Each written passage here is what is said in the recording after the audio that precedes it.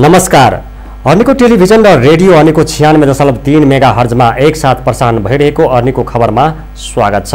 म शिवशङ्कर चौधरी सुरुमा मुख्य खबर। नेपाल भारत विज्ञहरूको बैठकमा राष्ट्रिय हितका सम्बन्धमा खुल्ला रूपमा छलफल गर्न प्रधानमन्त्रीको निर्देशन। महाकाली सन्धि कार्यान्वयनको विषयलाई गम्भीरताका साथ राख्न आग्रह।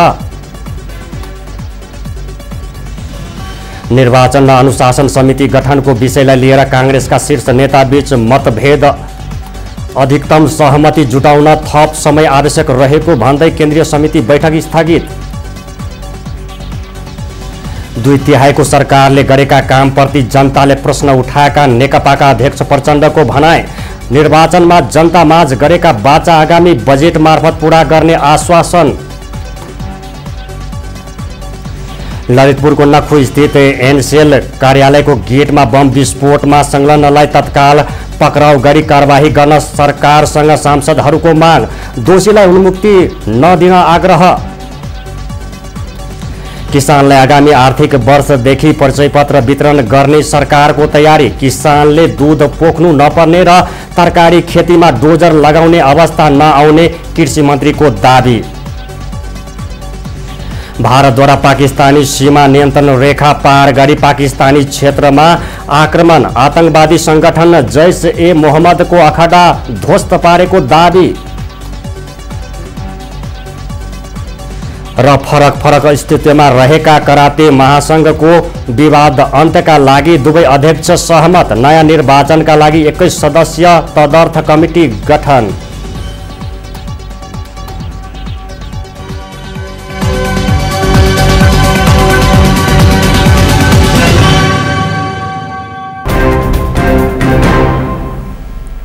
अब खबर विस्तारमा।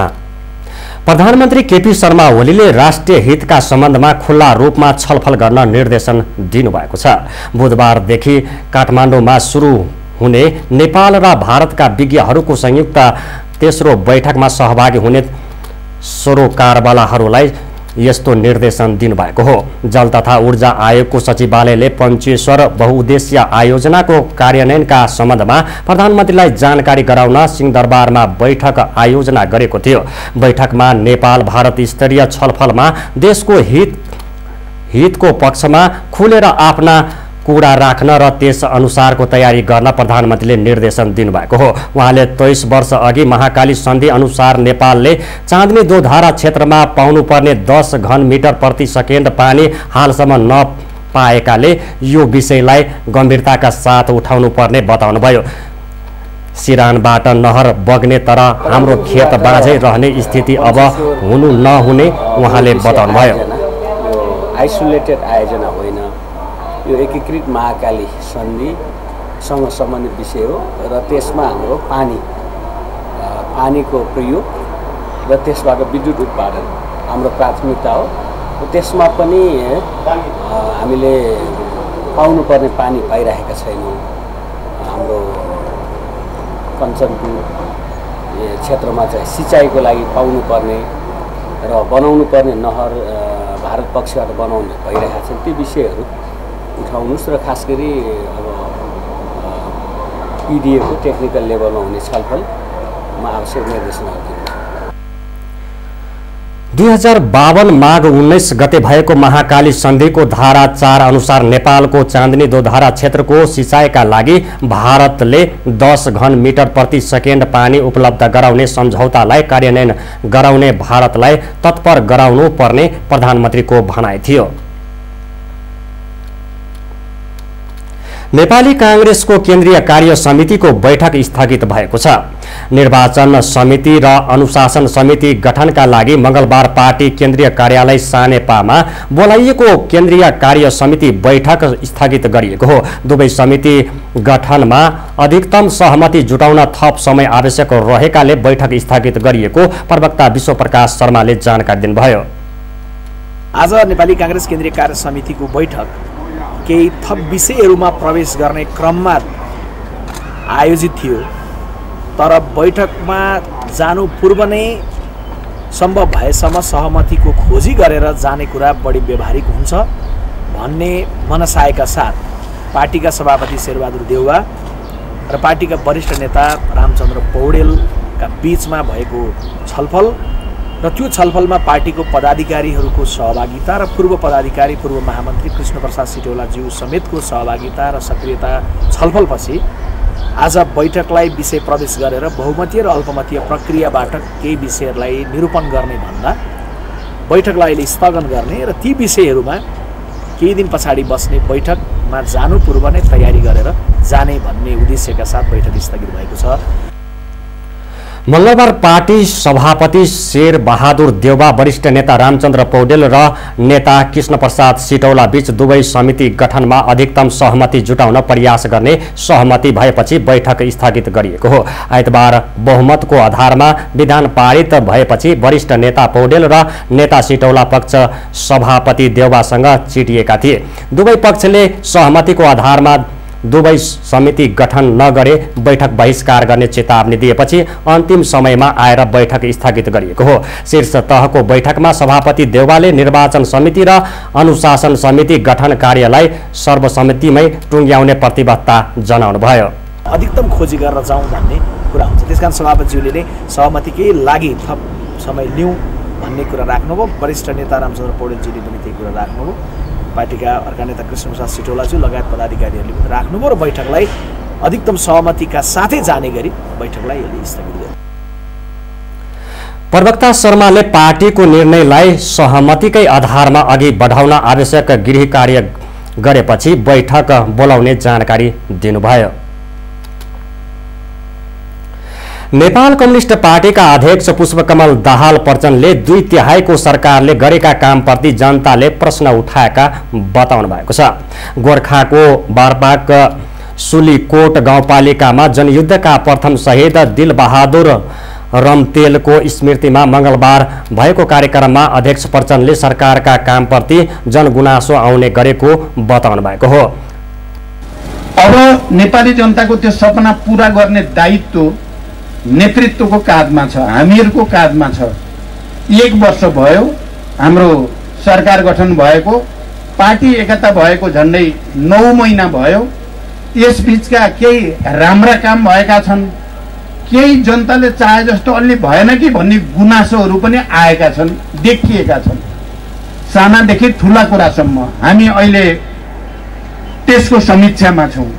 भर्खरै कमरेड नारायण काजी श्रेष्ठले पनि केही सङ्केत त्यसको बारेमा गर्नुभयो राम्रा काम भएका छन्। हामीले तिनलाई पनि बुझ्नुपर्ने हुन्छ जनतामा लानुपर्ने हुन्छ।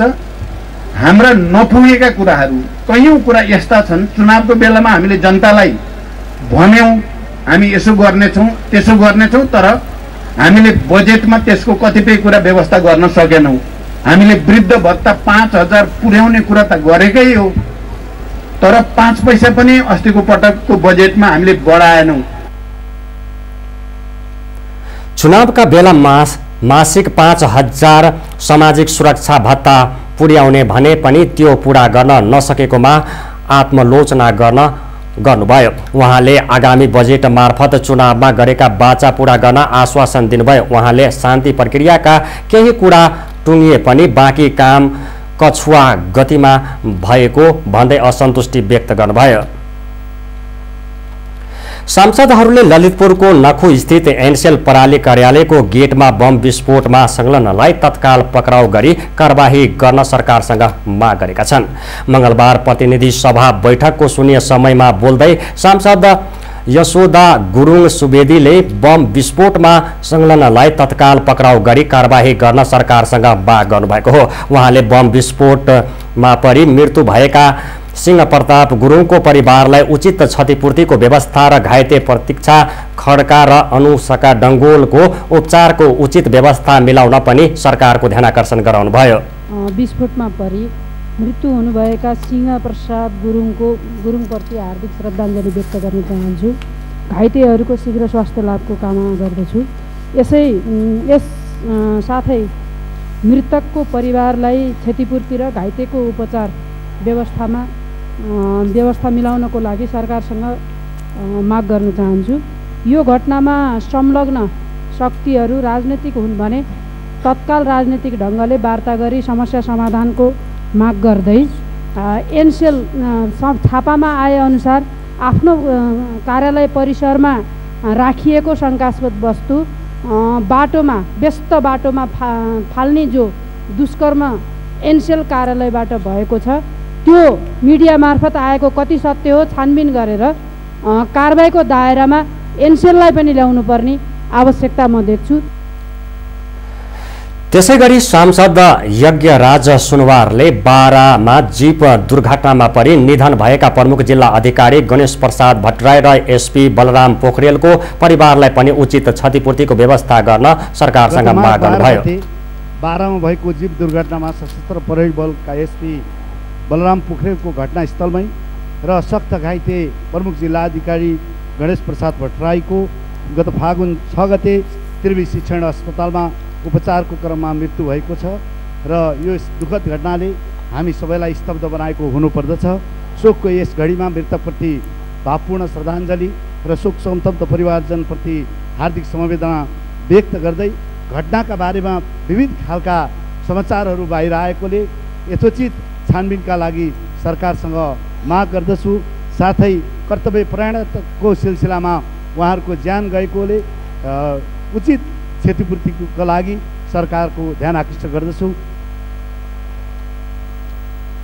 त्यसै गरी सांसदहरूले माथिल्लो कर्णाली जलविद्युत आयोजना स्वदेशी लगानीमा सम्पन्न गर्ने गरी कामलाई अघि बढाउन पनि सरकारलाई सचेत गराएका छन्। सांसद यज्ञ बहादुर बोगटीले आवश्यक बजेटको व्यवस्था गर्ने जिम्मेवारी पाएको भारतीय कम्पनी जिएमआरले सो आयोजनाको कामलाई अघि बढाउन नसकेको उल्लेख गर्दै नेपाल सरकार आफैले स्वदेशी लगानीमै सो आयोजनाको कार्य सम्पन्न गर्ने कामलाई तत्काल अघि बढाउन माग गर्नुभएको हो। सांसद माया देवी नेउपानेले केन्द्रीय कारागारमा रहेका कैदी बन्दीहरूले बुनेका लाखौँ रुपियाँ पर्ने कपडा अलपत्र अवस्थामा रहेको उल्लेख गर्दै त्यसलाई बिक्री वितरण गर्ने व्यवस्था तत्काल गर्न पनि सरकारलाई सचेत गराउनुभयो।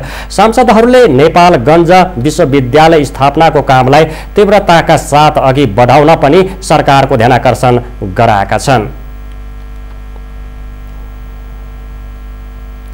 संसदीय सुनवाई विशेष समितिको मङ्गलबार बोलाइएको बैठक स्थगित भएको छ। मङ्गलबार दिउँसो दुई बजेका लागि बोलाइएको समितिको बैठक कोरम नपुगेपछि अन्तिम समयमा आएर स्थगित गरेको हो। मधेसी आयोगका प्रस्तावित अध्यक्ष डाक्टर विजय कुमार दत्त र थारू आयोगका प्रस्तावित अध्यक्ष विष्णु प्रसाद चौधरीको सुनवाईका लागि बोलाइएको समितिको आइतबारको बैठक पनि कोरम नपुगेकै कारण स्थगित भएको थियो। मङ्गलबार बोलाइएको बैठकमा पनि सत्तारूढ दल नेपाल कम्युनिस्ट पार्टी नेकपाका सबै सांसदहरू उपस्थिति नभएका कारण स्थगित गरिएको छ। यता प्रमुख प्रतिपक्षी नेपाली काङ्ग्रेसका चारजना सांसदहरूले भने प्रतिपक्ष दलका नेता शेरबहादुर देवाको अनुपस्थितिमा सबै संवैधानिक परिषदले ती आयोगहरूको पदाधिकारी सिफारिस गरेकाले मान्य नहुने भन्दै समितिको बैठक बहिष्कार गर्दै आएका छन्। समितिमा पन्ध्रजना सदस्य रहेकोमा सत्तारूढ दल नेपाल कम्युनिस्ट पार्टीका नौजना सांसद रहेका छन्। समितिको बैठकमा कोरम पुग्न आठजना सदस्य अनिवार्य उपस्थित हुनुपर्नेछ। गृहमन्त्री रामबहादुर थापाले शहीदहरूले देखाइएको बाटोबाटै अघि बढ्ने प्रतिबद्धता व्यक्त गर्नुभएको छ। मङ्गलबार काठमाडौँमा जनयुद्धका प्रथम शहीद दिलबहादुर रम्तेलको स्मृतिमा आयोजित कार्यक्रममा गृहमन्त्री थापाले शहीदहरूको बलिदानीपूर्ण सङ्घर्षबाट मुलुकमा सङ्घीय लोकतान्त्रिक गणतन्त्र स्थापना गर्न सफल भएकोमा उल्लेख गर्दै उनीहरूले देखाइएको बाटोबाटै मुलुकलाई समृद्ध बनाउने दिशामा अघि बढ्न सबैलाई आह्वान गर्नुभयो। उहाँले शहीदहरूले देखाइएको बाटोबाटै समाजवाद निर्माणको आधार तय गर्दै अघि बढ्ने सङ्कल्प पनि गर्नुभयो। भएको छ र चाहिँ यसलाई यो अभियान यो आन्दोलन यो नेपालको चाहिँ सामन्तवाद विरोधी यो जनवादी क्रान्तिका सबै मोर्चाहरूलाई चाहिँ प्रयोग गरेको छ कम्युनिस्ट पार्टीले चाहिँ। हामीले सदनमा पनि गरेका छौँ। हामीले सडकबाट पनि गरेका छौँ। हामीले शान्तिपूर्ण तरिकाले पनि हामीले सामन्तवादको विरुद्ध साम्राज्यवादको विरुद्ध सङ्घर्ष गऱ्यौँ र हामीले चाहिँ सशस्त्र तरिकाबाट पनि हामीले गऱ्यौँ यो सबैको कुल योगफलको रूपमा चाहिँ आज चाहिँ हामीले सङ्घीय लोकतान्त्रिक गणतन्त्रको स्थापना हामी सफल हामीले स्थापना गर्न सफल भएका छौँ। र यसमा रम्तेलहरूको चाहिँ सर्वाधिक महत्त्वपूर्ण भूमिका छ। आज यही विशेष अवसरमा हामीले ती रम्तेलहरू बेलबहादुर रम्तेलहरूले जुन शहादत प्राप्त गर्नुभयो जो उपलब्धि हामीले उहाँहरूको शहादतको परिणामस्वरूप प्राप्त गरेका छौँ। उहाँले नेपालको सामाजिक तथा राजनीतिक परिवर्तनमा उत्पीडन र उत्पीडित समुदायले पुर्याएको योगदानको प्रशंसा गर्नुभयो। अबको खबरमा पालो भएको छ विश्रामको विश्राम अघि मुख्य खबर। नेपाल भारत विज्ञहरूको बैठकमा राष्ट्रिय हितका सम्बन्धमा खुल्ला रूपमा छलफल गर्न प्रधानमन्त्रीको निर्देशन। महाकाली सन्धि कार्यान्वयनको विषयलाई गम्भीरताका साथ राख्न आग्रह। निर्वाचन अनुशासन समिति गठनको विषयलाई लिएर काङ्ग्रेसका शीर्ष नेताबीच मतभेद अधिकतम सहमति जुटाउन थप समय आवश्यक रहेको भन्दै केन्द्रीय समिति बैठक स्थगित। दुई तिहाईको सरकारले गरेका कामप्रति जनताले प्रश्न उठाएका नेकपाका अध्यक्ष प्रचण्डको भनाई निर्वाचनमा जनतामाझ गरेका बाचा आगामी बजेट मार्फत पूरा गर्ने आश्वासन। ललितपुरको नखु स्थित एनसेल कार्यालयको गेटमा बम विस्फोटमा संलग्नलाई तत्काल पक्राउ गरी कारवाही गर्न सरकारसँग सांसदहरूको माग दोषीलाई उन्मुक्ति नदिन आग्रह। किसानलाई आगामी आर्थिक वर्षदेखि परिचय पत्र वितरण गर्ने सरकारको तयारी। किसानले दूध पोख्नु नपर्ने र तरकारी खेतीमा डोजर लगाउनु अवस्था नआउने कृषि मन्त्रीको दावी। भारतद्वारा पाकिस्तानी सीमा नियन्त्रण रेखा पार गरी पाकिस्तानी क्षेत्रमा आक्रमण। आतंकवादी संगठन जैस ए मोहम्मदको अखडा ध्वस्त पारेको दावी। र फरक फरक अस्तित्वमा रहेका कराते महासङ्घको विवाद अन्त्यका लागि दुवै अध्यक्ष सहमत नयाँ निर्वाचनका लागि एक्काइस सदस्यीय तदर्थ कमिटी गठन।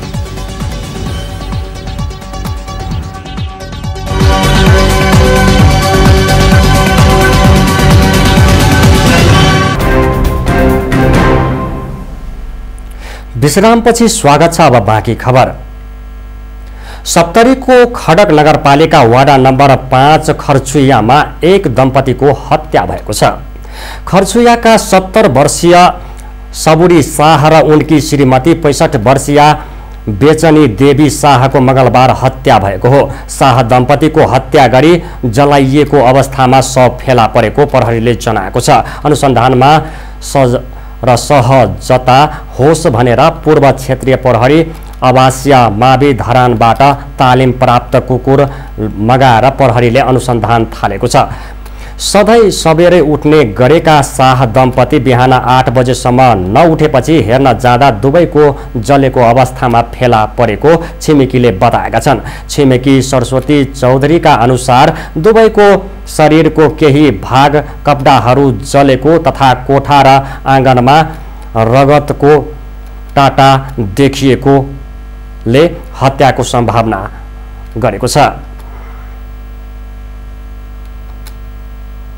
सर्वोच्च अदालतले प्रविधिको उपयोग गर्दै यातायात क्षेत्रमा मोटरसाइकल र स्कुटरबाट निजी व्यवसाय सञ्चालन गरिरहेका कम्पनी पठायोको सेवा रोक्न अस्वीकार गरेको छ।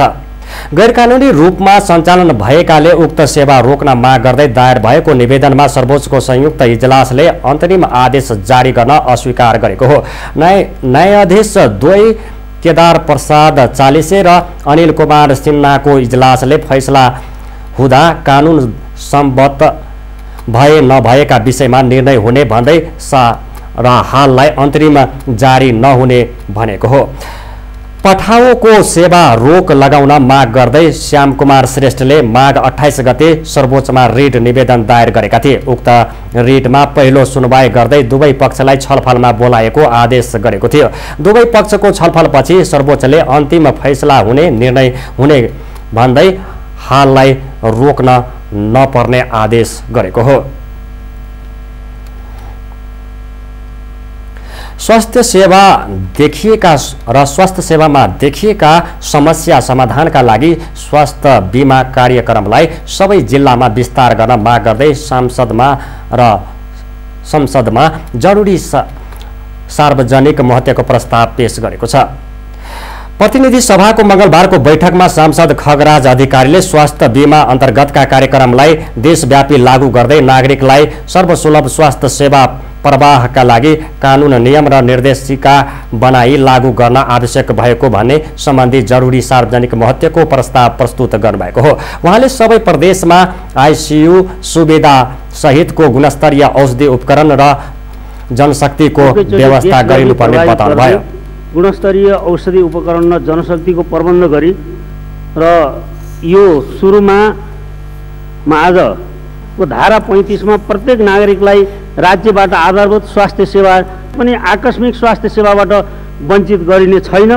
स्वास्थ्य सेवा हामीले कसरी प्रभाव तल्लो तहदेखि माथिसम्म गुणस्तरीय सेवा दिन सक्छौँ? रिफरल हस्पिटलहरू र प्रदेशमा एउटा रिफरल हस्पिटल स्तरीय हस्पिटल हामीले बनाउन सकेनौँ भने र टर्सरी लेभलका हस्पिटलहरू हामीले त्यहाँ बनाउन सकेनौँ भने जनताले सेवा पाउँदैन। भर्खरै राप्ती स्वास्थ्य विज्ञान प्रतिष्ठानमा गएर आउँदा इमर्जेन्सीमा नाक थुन्नु परेको छ। स्वास्थ्य विज्ञान प्रतिष्ठानहरू जहाँ तिन सय बेडसम्म छैनन् त्यहाँ हामी सरासर स्वास्थ्य विज्ञान प्रतिष्ठान बनाउँछौँ। सरकारले बनाउने मेडिकल कलेजमा तिन सय सयको नभइकन बनाउनु मिल्दैन सभा महोदय। बनाइसकेकालाई स्तरीय बनाउनु पर्दछ। सांसदहरू अञ्जना विसङ्खे र मनकुमारी जीसीले प्रस्तावको समर्थन गर्दै स्वास्थ्य क्षेत्रमा देखिएका समस्याहरू तिनको समाधानका लागि स्वास्थ्य बिमा कार्यक्रम सबै जिल्लामा सञ्चालनका लागि एकता एक रूपता देखाउनु पर्ने बताउनुभयो अपरेसन गर्नको निमित्त एउटा सिस्टमेटिक तरिकाले त्यहाँको इक्विपमेन्ट भएन भने त्यहाँ चाहिँ नि एनेस्थेसिया डक्टर भएन भने टिम मिलेन भने कुनै पनि अपरेसन अगाडि बढाउन सकिँदैन। यो अवस्थामा चाहिँ कतिपय हस्पिटलहरूमा चाहिँ विशेषज्ञ डक्टरहरू पठाइदिने इक्विपमेन्टहरूको चाहिँ व्यवस्था नगरिदिनाले पनि त्यहाँ चाहिँ नि समस्याहरू देखा परिरहेका छन्। जरुरी सार्वजनिक महत्त्वको प्रस्ताव माथिको छलफलमा सांसदहरूले उठाइएका प्रश्नको जवाब दिँदै स्वास्थ्य तथा जनसङ्ख्या राज्य मन्त्री सुरेन्द्र कुमार यादवले केही दिनभित्र नै थप आठ जिल्लामा स्वास्थ्य बिमा कार्यक्रम सञ्चालन गर्न लागेको जानकारी दिनुभयो। स्वास्थ्य विज्ञान प्रतिष्ठानका विभिन्न विभि- र भिन्न भिन्नै ऐनका कारण पनि समस्या भएको भन्दै उहाँले सबैलाई छाता ऐनमा ल्याएर यस क्षेत्रमा देखिएका विकृति नियन्त्रित गरिने आश्वासन दिनुभयो। रविन्द्र मिश्र नेतृत्वको विवेकशील साझा पार्टीले भ्रष्टाचारमा मुछिएकाहरूलाई तत्काल कारबाहीको दायरामा ल्याउन अख्तियार दुरुपयोग अनुसन्धान आयोगको ध्यानकर्षण गराएको छ।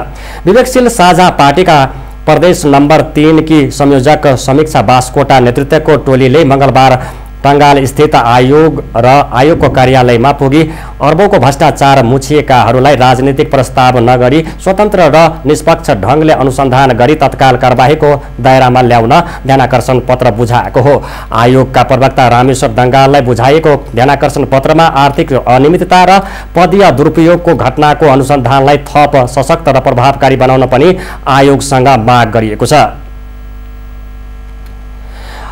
अख्तियार दुरुपयोग अनुसन्धान आयोगको कार्यालयमा पुगेका विवेकशील साझा पार्टीका नेता कार्यकर्ताहरूले चर्को स्वरमा बोलो भ्रष्टाचारीको पोल खोलो भ्रष्टाचार जेल परुन लगायतका प्ले कार्ड पनि प्रदर्शन गरेका थिए। नेपाल विद्यार्थी सङ्घका कार्यकर्ताले मङ्गलबार नेपाली काङ्ग्रेसको केन्द्रीय कार्यालय सानेपामा धरना दिएका छन्। नेवी सङ्घको अब भन्ने नयाँ केन्द्रीय समितिका सदस्यहरूको उमेर हद बढीमा बत्तीस वर्ष राख्न र विधान इकाइ अध्यक्ष र स्वयं सभापतिलाई केन्द्रीय प्रतिनिधि रहने प्रावधान राख्न दबाब दिन धरना दिएको बताइएको छ। काङ्ग्रेस नेताहरूलाई दबाब दिन नेवी सङ्घ कार्यकर्ता र्याली सहित सानेपा पुगेका थिए। यसै मागका पक्षमा र विपक्षमा रहेका नेवी सङ्घका दुई समूहबीच केन्द्रीय कार्यालय अगाडि केही दिन अघि झडप समेत भएको थियो। भरतपुर महानगरपालिकाकी उप प्रमुख पार्वती शाह ठकुरीले महानगरीय भित्र चरम भ्रष्टाचार भएको दावी गर्नुभएको छ। काठमाडौँमा पत्रकार सम्मेलन गरी उपप्रमुख शाहले महानगरले खरिद बिक्रीका काममा विधि र प्रक्रिया मिचेको अनुगमन प्रभावकारी नभएको सरकारी सवारी साधनको जथाभावी प्रयोग हुने गरेको दावी गर्नुभएको हो। महानगरलाई आवश्यक सामान खरिद बिक्री गर्दा सार्वजनिक खरिद ऐन अनुसार प्रक्रिया पूरा गरी जवाबदेही र पारदर्शी बन्न आफूले पटक पटक ध्यानाकर्षण गराउँदा पनि महानगर प्रमुखले त्यसलाई व्यवस्था गरेको उहाँले बताउनुभयो। महानगर सिंह महानगरमा लेखा समिति अहिलेसम्म गठन भएको छैन। जिन्सी समिति गठन भएको छैन त्यहाँभित्रको कारोबारहरू लेखा समिति खरिद बिक्रीका सबै कुराहरू हुन्छन्। त्यसलाई पारदर्शितामा ल्याउनु पर्छ भन्ने मान्यताले पहिलो बैठकबाट हामीले मैले आवाज उठाइरहेको छु। आज चौबिसौँ बैठक भइसकेको छ। तबसम्म पनि त्यहाँ कुनै पनि कार्यान्वयन भएको छैन। हामीलाई भोलिको दिनमा जनतासँग जवाबदेही हुनुपर्छ हामी जनप्रतिनिधि र अर्को कुरा त्यहाँभित्र कर्मचारी भनेको आउने जाने हो। तर त्यहाँको माया हामीलाई छ नि। जस्तै मैले भनिसकेको छु आफू खैरिन मेरो गाडी खसेको छ। राति नौ बजे अफिसबाट सरकारी गाडी सेतो प्लेटको गाडी बाहिरिरहेको छ। त्यो गएर मुङ्लिन पानी खसेको छ। त्यसको चाहिँ हिसाब किताब लेखाचोखा छैन। त्यो कहाँ गयो कसले खसाले किन गयो राति नौ बजे? त्यो सबै कुरा चाहिन्छ। महानगर प्रमुखको एकलौटी निर्णयका आधारमा महानगरका गतिविधि सञ्चालन हुँदै आएको दावी उहाँले गर्नुभयो। सामाजिक सञ्जालमा ज्यान मार्ने धम्की आएको बारे जानकारी गराउँदा प्रमुखले कुनै प्रतिक्रिया नजनाएकाले यसलाई नियोजित आक्रमणको रूपमा आफूले बुझेको पनि उहाँले बताउनुभयो। शाहमाथि धम्कीपूर्ण भाषा प्रयोग गरिएको सम्बन्धमा यसअघि नै नेपाली काङ्ग्रेसले आफ्नो गम्भीर ध्यानाकर्षण भएको जनाएको थियो। उपसचिव प्रेम प्रसाद सञ्जेलले सरकारले आफूमाथि न्याय अन्यायपूर्ण व्यवहार गरेको भन्दै न्यायका लागि अदालत जाने बताउनु भएको छ। काठमाडौँमा आयोजित साक्षात्कारमा उप उपसचिव सञ्जेलले निजामती कर्मचारी ऐन विपरीत आफूलाई सत्तरी दिन नपुगी विराटनगर श्रम कार्यालयबाट सरुवा गरिएको तथा तलब समेत रोक्का गरेको उल्लेख गर्दै न्यायका लागि सर्वोच्च अदालत जाने बताउनु भएको हो। उहाँले दुई वर्ष काम गर्न दिनुपर्नेमा निजामती ऐन विपरीत श्रम मन्त्रालयका सचिव महेश्वर प्रसाद दाहालले आफूलाई ऐन विपरीत सत्तरी दिनमै सरुवा गरेको उल्लेख गर्दै उनीमाथि विभागीय कारवाही गर्न माग गर्नुभयो।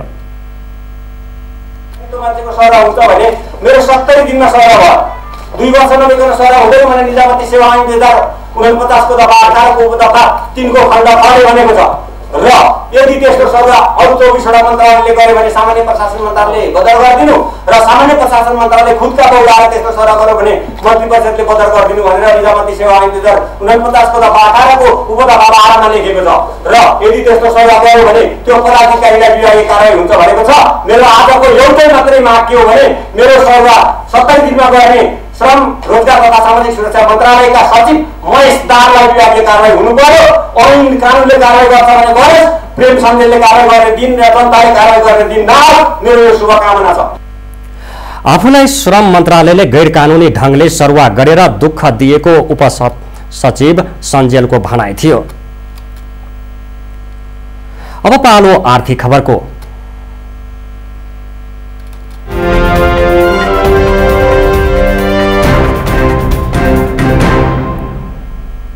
सरकारले किसानहरूलाई परिचय पत्र वितरण गर्ने योजना अघि सारेका सारेको छ। राष्ट्रिय सभाको बैठकमा सांसदहरूसँगको प्रश्न उत्तर कार्यक्रममा कृषि तथा पशुपक्षी पशुपन्छी विकास मन्त्री चक्रबाणी खनालले कृषि उत्पादनलाई बढाउन आवश्यक सहुलियतको अवस्था गर्ने गरी किसानहरूलाई आगामी आर्थिक वर्षदेखि परिचय पत्र वितरण गर्ने योजना तय गरिएको जानकारी दिनुभएको हो। उहाँले दुध पोख्नु नपर्ने र तरकारी खेतीमा डोजर लगाउने अवस्था आउन नदिन सरकारले अल्पकालीन र दीर्घकालीन योजना तय गरेको बताउनु भयो अहिले कोहलपुरमा एउटा दुग्ध प्लान्ट चाहिँ हामीले त्यहाँ पश्चिमको दुधलाई केन्द्रित गरेर गर्ने पूर्वमा छ मध्यमा चितवन हुन्छ र एउटा पोखरा छ। यसो गर्दा हामीले एसेम्ब्ली पाउडरको लागि यसरी योजना बनाएका छौँ र अगाडि बढिरहेको छ। ऋण अनुदानबारे अहिले हामीले पाँच प्रतिशत कृषिमा लगानी गर्नेलाई सरकारले ऋण अनुदान दिएको छ। त्यो पाँच प्रतिशतलाई यदि बढाउने हो भने त्यो अब हामीले छ सात प्रतिशत पनि गराउन सक्छौँ। अब सरकारको स्थिति हेरी सामान्य प्रधानमन्त्रीज्यूसँग छलफल गरेर यसलाई अगाडि बढाउन सकियो भने ऋण अनुदानको एउटा यो कुरा छ। अर्को अहिले हामीले सोचेर अगाडि बढाएको योजना के हो भने योगदानमा आधारित किसानलाई पेन्सनको व्यवस्था गरौँ पेन्सनभन्दा पनि अथवा योगदानमा आधारित राहत के हुनसक्छ एउटा व्यवस्था त्यसो गर्ने। त्यसो गर्दा किसान परिचय पत्र परिचय पत्रमा उसको जमिनको उल्लेख र त्यो सँगै उसको जमिनमा प्रयोग गर्न मल कति लाग्ने के गर्ने? लगायतको कुराहरूलाई त्यसलाई समावेश गरेर परिचय पत्र वितरण गऱ्यौँ भने उनीहरूलाई नै सेयर बनाउने जमिनको उनीहरूको जमिनको आधारमा सेयर कायम गर्ने र उनीहरूलाई योगदान उत्पादनको आधारमा योगदान कायम गरेर अगाडि बढाउने भनेर यो प्रोजेक्ट आउने हाम्रो आर्थिक वर्षमा यसलाई जोडेर लानुपर्छ भनेर यसको अन्तिम हामी यसलाई फाइनल गर्दैछौँ। मन्त्री खनालले पाँच वर्षभित्र कृषि उत्पादनमा दोब्बर वृद्धि गर्ने लक्ष्य पूरा गर्ने सरकारले प्रधानमन्त्री कृषि परियोजना कार्यक्रमलाई तीव्रताका साथ अघि बढाउन चाहेको पनि स्पष्ट पार्नुभयो। उहाँले कृषि उत्पादनलाई दोब्बर बनाउने सरकारी र सरकारको नीति तयार कार्यक्रम अनुसार किसानलाई अनुदान बिउ मल सिँचाइ लगायतका सुविधा उपलब्ध गराउने योजना पनि अघि सारिएको बताउनुभयो। बैठकमा सांसदहरूले कृषि उत्पादनलाई दोब्बर बनाउने र यसको निर्यात व्यापारलाई बढाउन सरकारको आवश्यक योजना के छ भनी मन्त्री खनाललाई प्रश्न गरेका थिए।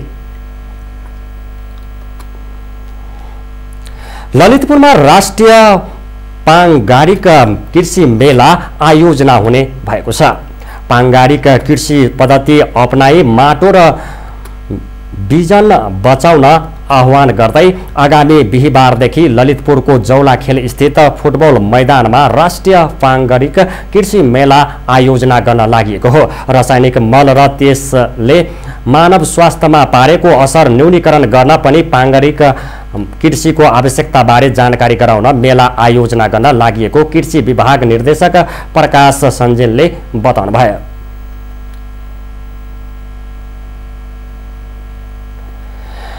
मङ्गलबार पत्रकार सम्मेलन गरी कृषि विभागको संयोजनमा आयोजना हुने सो मेलामा पाङ्गरिक कृषि खेतीबारे जानकारी दिने खालका एक सय पच्चिसवटा भन्दा बढी स्टल रहने जानकारी पनि गराएको छ। चार दिनसम्म चल्ने मेलाको मुख्य आकर्षणको रूपमा ताजा कृषि उपज र प्रशोधित कृषि उपज रेना र रैथाने बालीको खाद्य परिकार कृषि सामग्री र प्रविधिहरू रहने पनि निर्देशक सञ्जेलले जानकारी दिनुभयो। अब पालो अन्तर्राष्ट्रिय खबरको।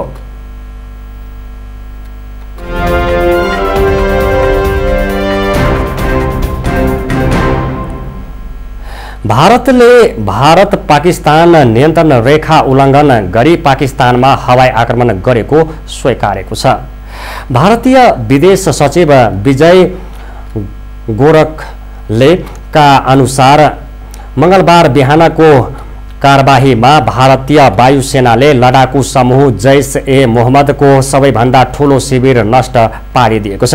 यसअघि भारतीय वायुसेनाका विमान पाकिस्तानी आकाशमा छिरेको तर पाकिस्तानी पक्षले प्रतिकार गरेपछि ती विमानहरू भागेको दावी पाकिस्तानी सेनाले गरेको थियो। पाकिस्तानी सेनाका प्रवक्ता मेजर जनरल आसिफ गफुरका अनुसार भाग्दै गर्दा हडबडाएर उनीहरूले केही बम खसाएका थिए। त्यसबाट कुनै हानि या नोक्सानी हताहत नभएको उनले बताए। भारतीय विदेश सचिव गोखलेले गुप्तचरी सूचनाका आधारमा सो कारवाही गरिएको बताएका छन्। फेब्रुअरी चौधमा भारत प्रशासित काश्मीरमा भारतीय सुरक्षाकर्मीलाई लक्षित गर्दै जैस ए मोहम्मदले एउटा आत्मघाती आक्रमण गरेको थियो। घटनामा छ्यालिस भारतीय सुरक्षाकर्मीको ज्यान गएको थियो। घटनापछि भारत र पाकिस्तान बीच तनाव बढेको छ। यसैबीच मङ्गलबार बिहान भएको आक्रमणमा ठुलो सङ्ख्यामा चरमपन्थी मारिएको भारतीय भारतीयको दावीलाई पाकिस्तानले अस्वीकार गरेको छ। भारतीय वायुसेनाले भारत पाकिस्तान नियन्त्रण रेखा पार गर्दै गरेको बम हमलाले आफ्नो देशको सम्प्रभुता उल्ले उल्लङ्घन गरेको पाकिस्तानको ठहर छ। साथै उसको आफ्नो रोजाइको स्थान र समयमा जवाफ दिने समेत बताएको छ। पोप फ्रान्सिसका निकटतम सल्लाहकार एवं अस्ट्रेलियाका कार्डिनल जर्ज पेलामाथि दुई बालकमाथि यौन दुराचारको आरोपमा दोषी पाइएको छ। बाल यौन दुराचारको आरोपमा दोषी ठहर पाइएका कार्डिनल पेल सबैभन्दा माथिल्लो तहका क्याथोलिक धर्मगुरु हुन्। अस्ट्रेलिया र अस्ट्रेली न्यायाधीशहरूको सहमति र समिति उजुरीले सर्वसम्मत रूपमा पेल दोषी रहेको ठहर गरेको छ। कार्डिनल पेलेलले सन् उन्नाइस सौ नब्बेको दशकमा मेलबोर्न स्थित सेन्ट प्याट्रिक्स क्याथ र क्याथेड्रलमा दुई बालक विरु र विरुद्ध यौन आक्रमण गरेका थिए। हाल सतहत्तर वर्ष पुगिसकेका कार्डिनल पेलले त्यस बखत बाह्र र तेह्र वर्षका दुई बालक नाबालकलाई यौन शोषण गरेको बताइएको छ। अदालतको आदेशबाट जमानतमा रहेका कार्डिनल पेलले आफूमाथि लागेका आरोपमा सत्यता नरहेको दावी गर्दै आएका छन्। अब पालो खेल खबरको।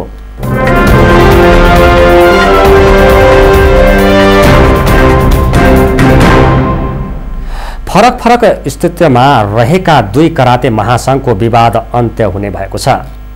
लामो समय यता राष्ट्रिय र अन्तर्राष्ट्रिय मान्यता प्राप्त स्थितिमा रहेका दुई महासङ्घ निर्वाचन मार्फत एक हुने विषयमा सहमतिमा पुगेका हुन्। युवा तथा खेलकुद मन्त्रालयले गठन गरेको विवाद समाधान समस्या सहजीकरण समितिले अस्तित्वमा रहेका दुवै कराते सङ्घलाई नयाँ निर्वाचन मार्फत विवाद समाधान गर्न सहमत गराएको हो। राष्ट्रिय मान्यता प्राप्त कराते महासङ्घ दावा गुरुङको नेतृत्व छ भने पुरेन्द्र विक्रम लाखे नेतृत्वमा रहेको अर्को महासङ्घलाई अन्तर्राष्ट्रिय ओलम्पिक कमिटीले मान्यता दिएको छ। राष्ट्रिय मान्यता प्राप्त कराते महासङ्घका अध्यक्ष गुरुङले कराते खेलको विकासका लागि आफू जस्तो सुकै त्याग गर्न पनि तयार रहेको बताउनुभयो। अर्का अध्यक्ष लाखेले खेलाडीको भविष्यलाई अन्धकारमा डोर्याउनुभन्दा समयमै सचेतना अपनाएर दूरदर्शी निर्णय गर्ने बेला भइसकेकाले आफूहरू एउटै महासङ्घ बनाउन सहमत भएको बताउनुभयो।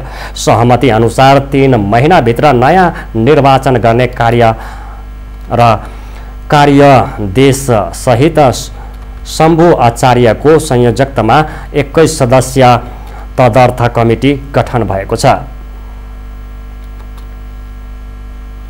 हामी अनेकौँ खबरको अन्तमा आइपुगेका छौँ। जाँदा जाँदै मुख्य खबर पुनः एकपटक।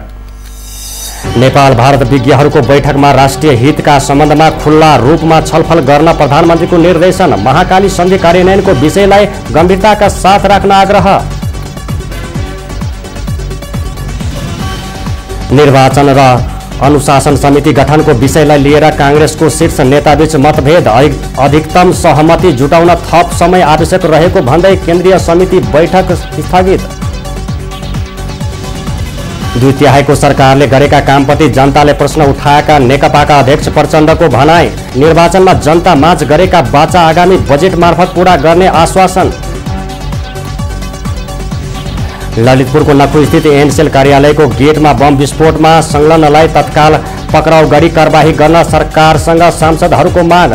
दोषीलाई उन्मुक्ति नदिन आग्रह। किसानलाई आगामी आर्थिक वर्षदेखि परिचय पत्र वितरण गर्ने सरकारको तयारी। किसानले दुध पोख्नु नपर्ने र तरकारी खेतीमा डोजर लगाउने अवस्था नआउने कृषि मन्त्रीको दावी। भारतद्वारा पाकिस्तानी सीमा नियन्त्रण रेखा पार गरी पाकिस्तानी क्षेत्रमा आक्रमण। आतंकवादी सङ्गठन जैस ए मोहम्मदको अखडा ध्वस्त पारेको दावी। र फरक फरक स्थितिमा रहेका कराते महासङ्घको विवाद अन्त्यका लागि दुवै अध्यक्ष सहमत। नयाँ निर्वाचनका लागि एक्काइस सदस्यीय तदर्थ कमिटी गठन।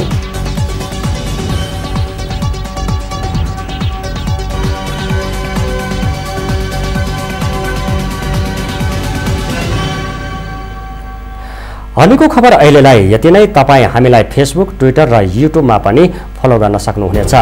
नमस्कार।